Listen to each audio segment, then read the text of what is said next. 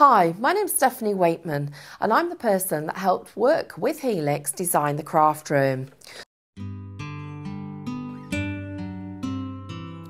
The craft room is an invaluable piece of equipment. It is portable yet sturdy and comes with an embossing board that enables you to emboss perfect circles, rectangles, ovals, and squares in a variety of sizes.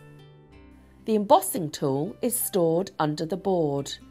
The lid is hinged and has magnetic catches. Inside the craft room is a cutting mat to work with the ruler that includes two blades, a circle cutter for speed cutting and an arrow cutter for accurate cutting, allowing you to cut the perfect rectangle and square.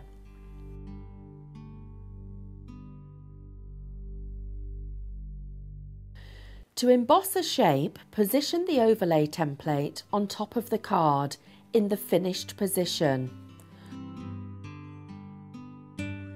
Mark through the top and bottom of the template as shown.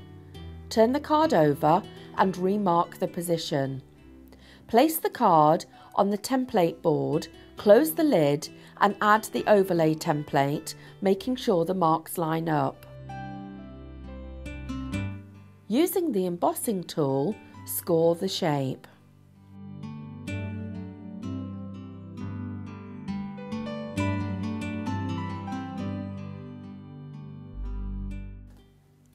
To cut the perfect square, cut two parallel lines using the arrow blade. Turn the paper or cutter. The cutter works on both axes.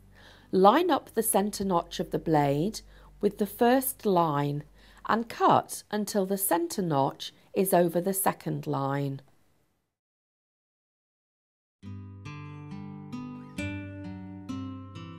To cut oval and circle apertures, emboss the required shape, then use the craft knife to cut inside the embossed line, turning the card, not the knife.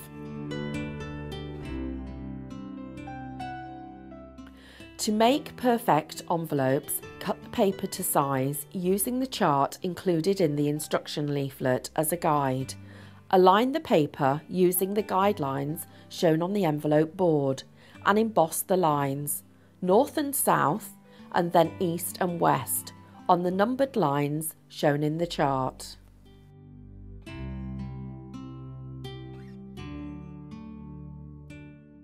To make boxes, start with two pieces of card identical in size. Decide on the depth of the box by choosing a numbered line on the board. Butt the first piece of card up to the lid line and use the number line you have chosen. Score on all four sides. Turn the board and repeat the process for the base, using the same number but this time for the baseline. Cut the longest sides of the box to make the corners and assemble the box lid and base using strong glue.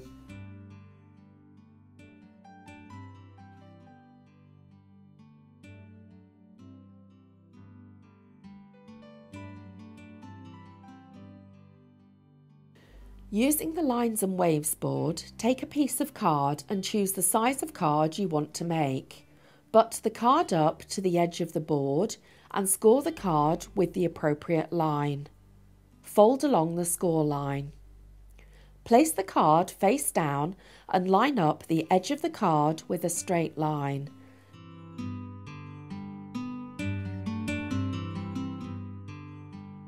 Score the double scallop. Let the tool do the work.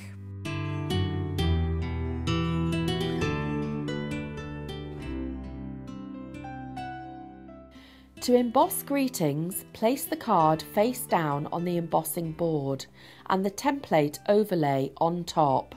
Use the embossing tool to trace the design inside the template. Change to the smaller ball tool to add the corner detail of the letters.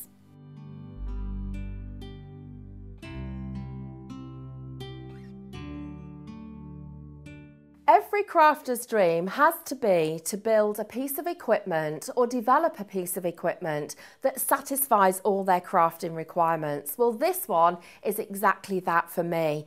And to be able to work with the team at Helix, who for over 130 years have been producing amazing quality pieces of equipment, it's been a real pleasure. It's been an exciting adventure. And to look at the product development, take it through all of the stages to see the end result that really does do what it says on the box and enables crafters to get a professional finish every single time is exactly what we set out to do. But it gets better than that because this range just goes on and on and each time giving everyone, including myself, the ability to explore all their own creativity.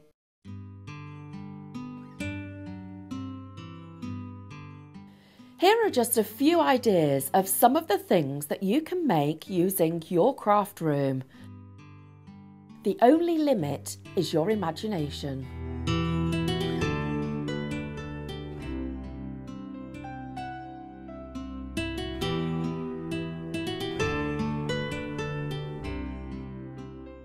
I hope that you enjoy the Papercraft Station as much as I do and it becomes your new best friend.